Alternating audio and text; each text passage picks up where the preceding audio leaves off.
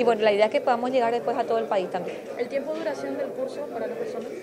Bueno, nosotros en este momento tenemos una currícula que va más allá de dos meses de capacitación fuerte eh, y la estamos ajustando nuevamente con otros aditamentos que el Ministerio de Salud nos está dando. ¿La verdad cuáles son las acciones que se van a tomar ante estas irregularidades en la SNP? Bueno, nosotros explicamos perfectamente ya ayer que en primer lugar eh, se ha ordenado la apertura de un sumario administrativo interno se ha solicitado la auditoría del Poder Ejecutivo para que el Poder Ejecutivo pueda llegar a esa minucia que el Ministerio del Trabajo no puede alcanzar, dado la, que tiene un equipo técnico muy limitado.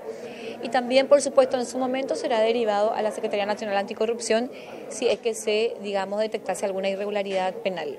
¿Usted tenía conocimiento con la prioridad antes de este informe? Nosotros hicimos dos cortes. Eh, nosotros hicimos una planificación en auditoría.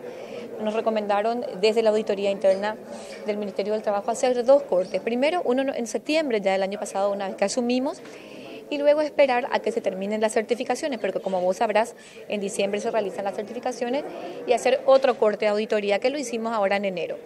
De las dos auditorías surgieron las irregularidades que nosotros ya anunciamos, es decir, la existencia de menores de 14 años de edad, lo cual no puede existir porque no está permitido en el SNPP tomar menores para los cursos porque justamente cuidamos que los menores terminen la educación formal y no, digamos, distraer ese tiempo en aprender oficios.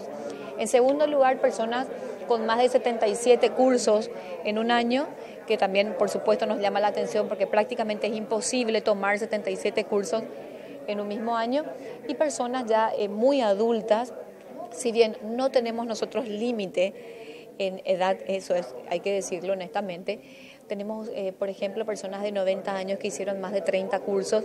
Estamos hablando de cursos no de emprendedurismo, sino cursos ya que requieren mucha fuerza, lo cual nos llama poderosamente la atención. Bueno, este es un acuerdo que permite unas capacitaciones de funcionarios del Ministerio de Salud y también eventualmente eh, tener acceso a personal capacitado.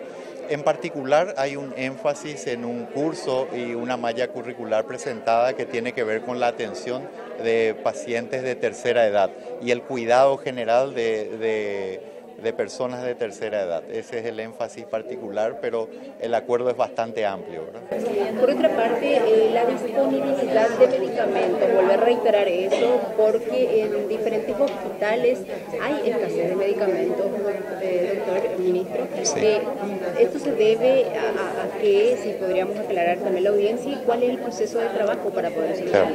Bueno, en primer lugar hay que definir exactamente esto, estas denuncias, porque yo no tengo conocimiento en particular de alguna. De diabetes, por ejemplo. Bueno, bueno, entonces eso eh, hay que ir eh, viendo qué medicamentos en particular. Eh, hemos tenido problemas con la provisión de una insulina en particular, la NPH, que estamos resolviendo. En muchos casos los problemas son de proveedores, ¿verdad?, que no tienen el stock suficiente.